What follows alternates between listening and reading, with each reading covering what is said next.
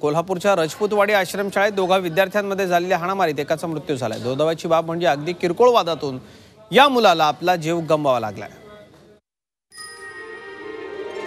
शंकर सावळाराम झोरे. तो आता या जगात नाही. रजपूतवाडीच्या आश्रमशाळेत विज्ञान शाखेत तो अकरावीला शिकत होता. रात्री झोपण्याच्या जागेवरून त्याचं दुसऱ्या एका विद्यार्थ्याशी भांडण झालं. बघता बघता भांडणाचं पर्यवसान हाणामारीत झालं. दुसऱ्या विद्यार्थ्यानं लगावलेली बुक्की शंकर झोरेच्या वर्मी लागली आणि या दुर्दैवी घटनेत शंकरचा मृत्यू झाला. ते झोपताना हातरून घालताना त्यांच्या त्यांच्यात काहीतरी वाद झाला. त्यावेळी आमचं लक्ष नव्हतं. आम्ही दुर्लक्षच केलं होतं ह्यांची वा वादावाद मिटला म्हणून आम्ही दुर्लक्ष केलं होतं अचानक त्या शंकर झोरला बुक्की मारली. त्यामुळे त्याला कशाचं कळ आली? त्याला चक्कर आली. चक्कर आल्या आल्या मी मुलं घेतली. मुलं घेऊन सरांना सरांना पाठवलं सरांना सांगायला पाठवलं वरती भांडणं झाल्यात चक्कर आल्या मुलाला. मी मुलग्याला घेतलं माझ्याबरोबर दोन मित्र घेतले खाली गेलो आणि तात्काळ त्याला दवा वडिंगे हॉस्पिटलला नेलं. त्वरित आम्ही अधीक्षकांसोबत शिप्या रुग्णालयात गेलो. तिथं विद्यार्थ्याला दाखवलं उपचारात तिथं दाखल केलं. दाखल केल्यानंतर डॉक्टर म्हटले की तुम्ही पोलीस कंप्लेंट करा. मग डॉक्टरांच्या सल्ल्यानुसार आम्ही लगेच त्वरित अधीक्षकांची आमच्या स्वतः फिर्याद दाखल केली.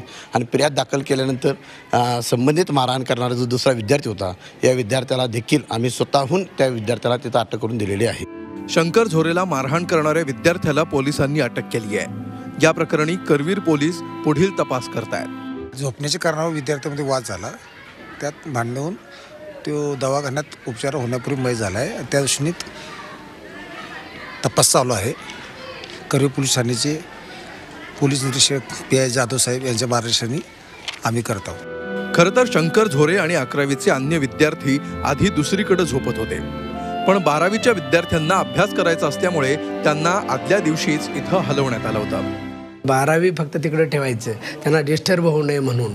म्हणून अकरावी आर्ट्स आणि अकरावी सायन्सचे विद्यार्थी कालच इथं आले होते. आणि काल मी सगळ्या विद्यार्थ्यांना मी सांगितले की तुमच्यासाठी बरं किती विद्यार्थी? सोळा विद्यार्थी आहेत फक्त.